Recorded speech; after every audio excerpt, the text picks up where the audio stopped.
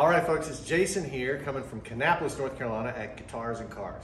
And we are doing our very first, hopefully of many, how-to video in conjunction with Stock Car Steel. So what we're gonna do today is a MIG welding project. It's really simple. With basic tools, you can do this on your own. And if you know where to get the stuff, which we do, it makes it really easy. It all starts with these two pieces of steel. We're gonna make something, we're just gonna weld something together to where this piece of steel goes into a trailer hitch receiver and we're gonna make a T, it's gonna be slightly off center, so that one of our buddies, Jack, can put a, a tire around this and make it a tow bar to push cars around his little boneyard. So it's gonna be really simple, really cool, and I'm gonna start by telling you what you need. Okay, we're gonna start with a couple pieces of steel. Normally, if you go to your, your local hardware store, the steel is gonna be quite expensive, uh, especially as prices are going up and going up. But at Stock Car Steel in Mooresville, North Carolina, we get these things from their drop area, okay? So this is what will go into our trailer hitch receiver, and this is what it will weld to to actually hold the tire. And I've got a couple other pieces like this.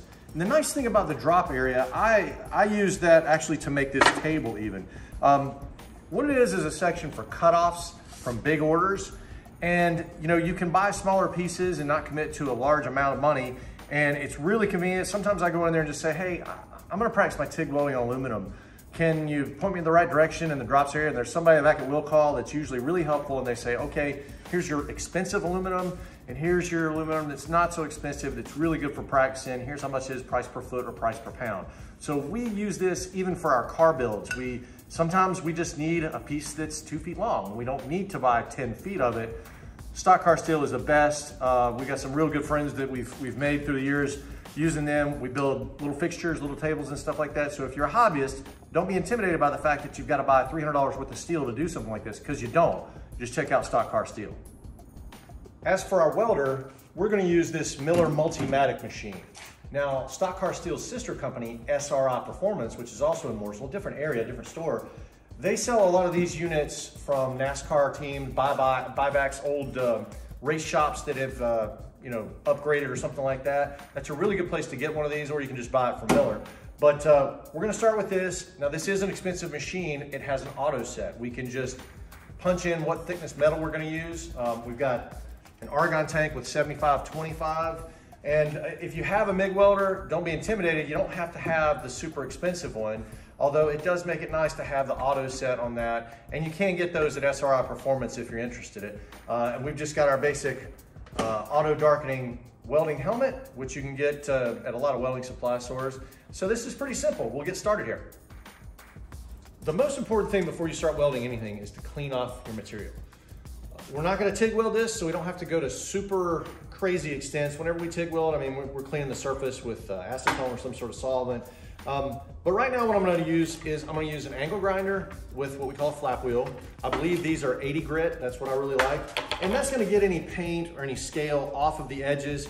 Really, you just need to make sure that you don't have anything that contaminate your weld whenever you put these two pieces together and start burning them because we wanna keep our weld to be melted metal or melted wire going in there and not necessarily a fire. If you've got paint and all these things on the, on the surface, it turns into a fire. So uh, I think it goes without saying, I'm not a safety expert, but I do this all the time and my safety is very important. So take a minute. I've got my earmuffs. Uh, these are a 33 decibel reduction. That's very important to me in my ears. I've got safety glasses. These aren't just plastic glasses. These are rated for impact. I've got my welding gloves on. So even though I'm not a certified safety instructor, I would urge you, look online, look up OSHA, something, wherever you need to make sure you're working safe. Because if you do this and you hurt yourself, you're not gonna, you're not gonna be doing fabrication very long. So it's really important to stay safe and uh, make sure you do your due diligence on that part as well. So let's get started.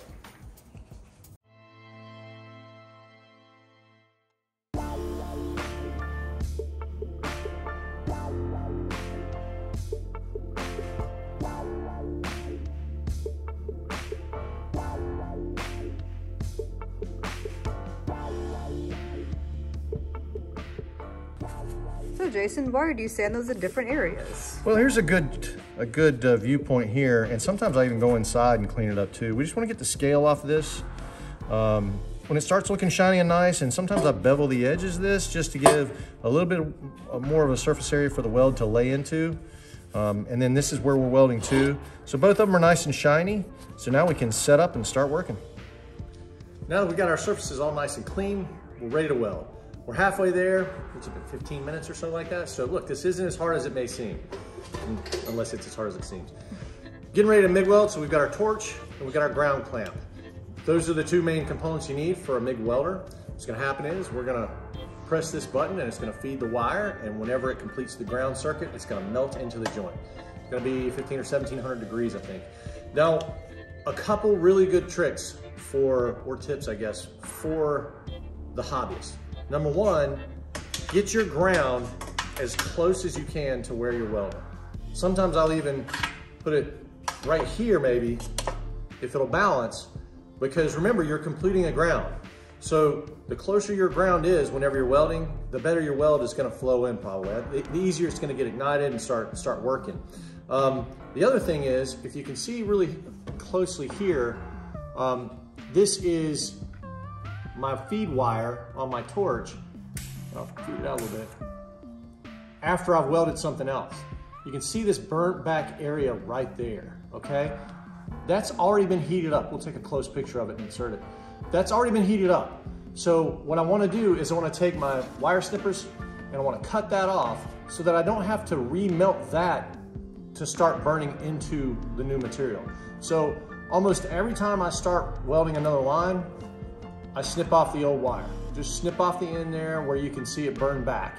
Some welders have a burn back setting and these other things. That's really complicated. You don't need to know. But if, even if you're using a $300 wire welder, if you put your ground closer and snip this back before you start welding, I guarantee you, you're gonna feel better about your welds. You're gonna happen quicker and more efficient, so. Get rid of that. Okay, we got our surface clean, our ground connected. One last thing before we start welding. Our argon is preset because we use this MIG welder a lot. Um, it's gonna run at about 20, I think. Uh, I think that's inch pounds out of our regulator. But uh, you wanna make sure that you've got enough argon because that's what's pulling the oxygen away and keeping it from becoming a fire. And you wanna make sure that your tip is free of any, any kind of dirt or anything that could uh, keep the argon from flowing out or maybe even cause problems there. So we've already checked this. Our tip is nice and clean. That's another thing that people forget to do is make sure you've got argon flow. You even want to hear it whenever you pull the trigger real quick. You want to hear that and then check your regulator. Uh, make sure that it's the proper flow. I think 18 to 25 is pretty much inch pounds where everybody kind of lands on, uh, on MIG welding. Um, I find sometimes if I'm working on dirtier metal, I'll, I'll, lean towards 20 or 22 or something. 18 or 19 on this machine works pretty good. Your manufacturer should have specifications or a helpline where you can look at that. But uh, again, I'm using a 75-25, that's 25% carbon dioxide on our, uh, on our gas. But uh, yeah, we're ready to go. So let's tack this thing together. I'll set it up, get it where I like it. I'm gonna put this one little spacer underneath here so that I'm even. 90 degrees is not really the biggest concern here. Um, or else I would have it clamped into a fixture for 90 degrees. What I'm gonna do first though is I'm gonna tack weld on the corners and then I'll run a line and we'll talk about one more thing and this will be done and Jack will be happy. Okay, I'm going to tack the corners and the reason I'm gonna tack the corners is if I take a look at this, once it's tacked together and I don't like it, that's kind of my easiest area to get in here with a grinder and cut the tacks loose and then redo them. So we're gonna focus our heat on the thicker piece of metal, which is right here. And then I'm just gonna kind of let it flow downhill. Remember, the wire's feeding and gravity's just gonna take it downhill, all right? So let's get started.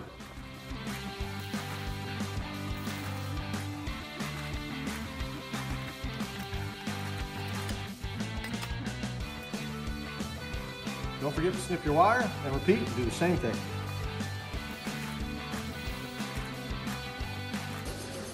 I forgot to mention, I keep a wire brush around. That way after I do the tacks, any kind of any kind of uh, dirt or anything that seems to get attracted into the heat puddle, I can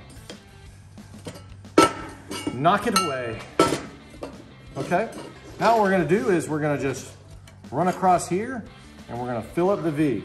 It's a great, great way to practice right now in something like this.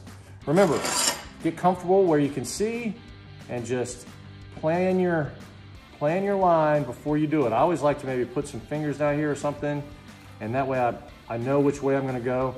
In this instance, I'm gonna pull and let's give it a go.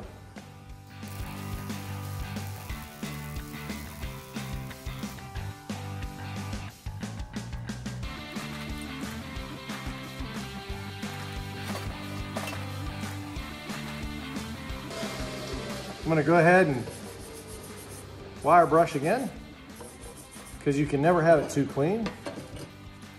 And I'll show you another little trick too. I'm gonna actually put this other piece of metal here just for my hand to sit on. I do this a lot when I'm working on a bench. Um, you know, you can actually have something for a prop and that way you're not out here freestyling it because I've kind of got shaky hands for, for a guy who does this a lot, I've got shaky hands, but what I'm gonna do is I'm just gonna put this here because now the tube's gonna be hot and I don't wanna get my hand hot and I'm just gonna guide like that.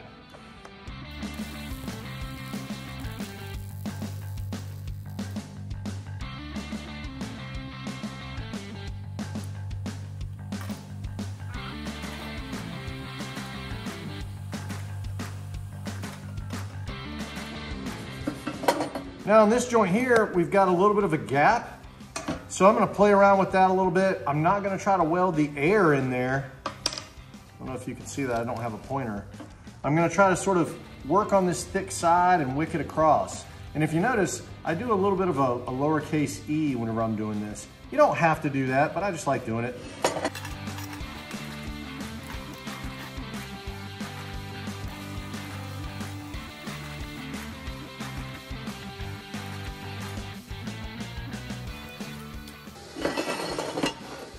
You a little bird's eye view of that.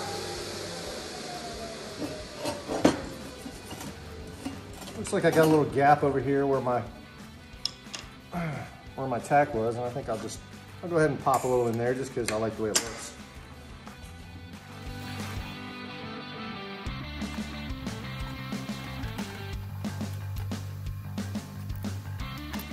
And now I think what I'll do uh, just for just for a little bit of uh, fun is I'll push this one.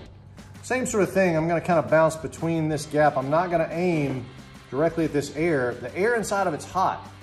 If we were really trying to do some super nice job, we would actually purge the inside of this with argon, okay? We were worried about the inside, but I, what I do need to realize is that the air's hot and it might push back on me just a hair before it ventilates. So we'll just be careful.